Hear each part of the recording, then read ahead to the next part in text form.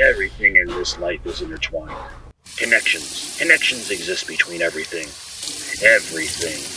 People talk about climate change, yet how can you talk about climate change when your memory gets wiped every four years? You live in a present that has been gifted to you by the mass media. Social media, the news, and all other agents of information tell you what to think and what to feel, and ultimately what to do. And you don't know what the future holds. You're just going through the motions, like good boys and girls. You would love to wake up, but you can't.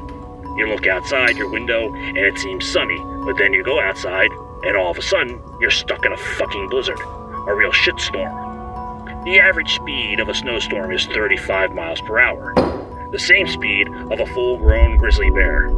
Can you outrun the bear? Then what makes you think you can outrun the storm?